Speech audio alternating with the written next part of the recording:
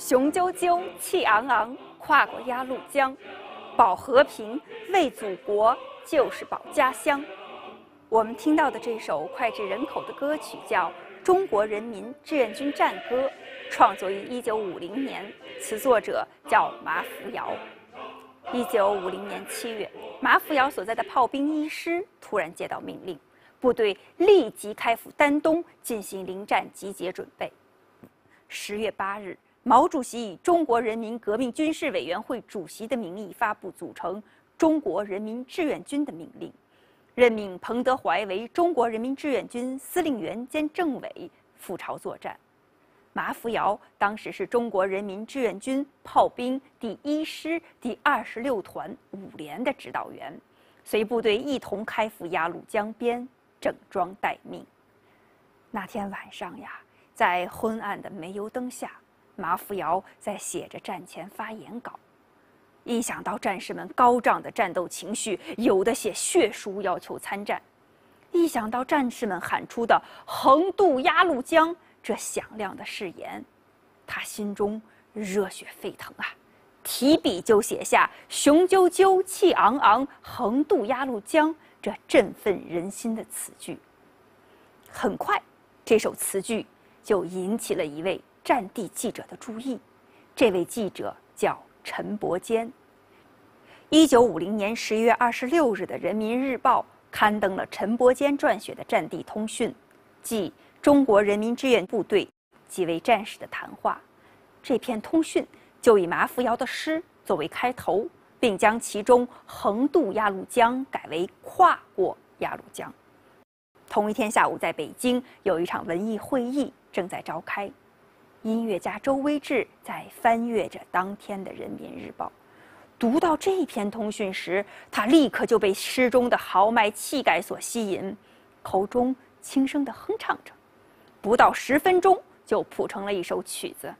那我们看到，指导员出征前昂扬的斗志，战地记者准确及时的报道，再加上音乐家难以抑制的创作激情，一首经典战歌就此诞生。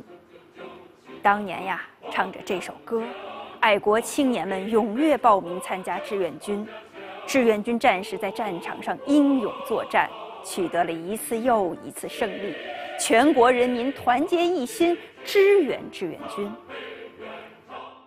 如今，七十年过去了，抗美援朝的精神依然深刻地影响着我们。那么，当年为什么要出兵抗美援朝？抗美援朝的决定是怎样做出的？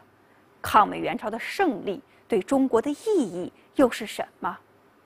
今天就让我们听着这首慷慨激昂的战歌，一同走进当年那段波澜壮阔的历史中。一九四九年十月，中华人民共和国成立。就在全国人民欢庆新中国、建设新社会之际，一九五零年六月二十五日。朝鲜战争爆发，两天之后，也就是六月二十七日，美国入侵朝鲜，干涉朝鲜内政。就在这同一天，美国第七舰队入侵我国台湾海峡。台湾海峡与朝鲜局势本是毫不相干的，但美国却借口朝鲜战争插手中国事务。很明显呀，针对中国。美国是蓄谋已久。七月七日，在苏联代表缺席的情况下，美国操控联合国安理会通过决议，成立联合国军司令部。七月十日，麦克阿瑟被正式任命为联合国军总司令。这位不可一世的五星上将，自打踏上朝鲜的一刻起，他的眼光就从来没有。停留在三八线上。九月十五日是朝鲜战争的一个重要节点，在麦克阿瑟的指挥下，美军在仁川登陆，朝鲜战局发生巨变。美军飞机以误炸之名，频频把炸弹投到中国一侧，破坏我国东北的机场和工业基础设施。十月一日，我们在庆祝中华人民共和国成立一周年。烟花在天安门上空绚丽绽放，就在这一天，南朝鲜军越过三八线。十月七日，以美国为首的联合国军悍然越过三八线，大举北进，直逼鸭绿江。此时，毛主席心里很清楚，局势对中国来说已经十万火急了，因为战火烧到了家门口啊！朝鲜领导人金日成、朴宪勇紧急召见中国驻朝鲜大使倪志亮，直接向中国政府提出。出兵援助的请求。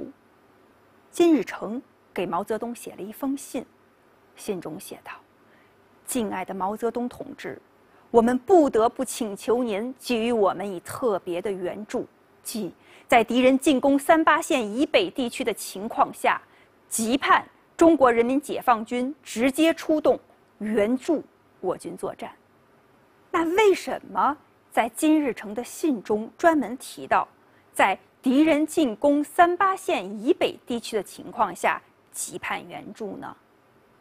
三八线是朝鲜半岛北纬三十八度附近的一条军事分界线。朝鲜半岛西北与我国紧密相连，以美国为首的联合国军跨过三八线，这意味着我国随时面临着被卷入战争的威胁。因此，讨论是否出兵打。还是不打？毛主席心里有个底儿，这个底儿就是以美国为首的联合国军是不是跨过了三八线？其实呀，早在一九五零年七月十三日，在毛泽东的批示下，中央军委就做出了关于保卫东北边防的决定。随后，共二十五万人组成东北边防军。虽然说我们对援朝问题早有考虑和准备。但领导人并不希望出现必须出兵入朝的形势，为什么呢？一是因为新中国当时仍面临着严重的国内形势和种种困难。当时啊，中国革命胜利刚刚一年，长期战争的创伤尚未医治，中共七届三中全会确定的恢复国民经济的任务还没有全面展开。台湾、西藏还没有解放，等等等等。面对这些困难，就给我们党提出一个问题：我们能不能直接出兵参战？能不能打赢这场仗？那么第二个原因呢？是战争双方的经济力量和军事技术装备相比，强弱悬殊太大了。这一次，我们面对的对手是有。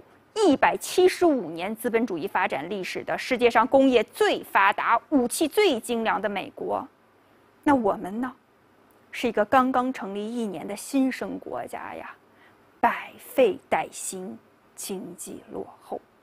我们看到，美国在战争中先后出动了其陆军的三分之一、空军的五分之一和近半数的海军作为清朝战争的主力。并且纠集了十五个国家的军队投入战争。美国在战场上使用了除原子弹以外所有的现代化武器，包括那些惨绝人性的毒气、细菌等武器。那我们呢？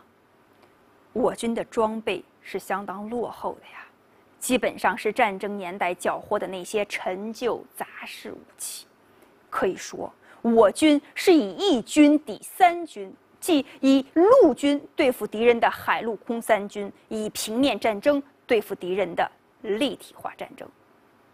我们看到呀，当时中美两国的国力悬殊，那么因此，要使这样一个新生的人民共和国再次面临血与火的考验，同世界头号资本主义国家美国一决雌雄，想一想。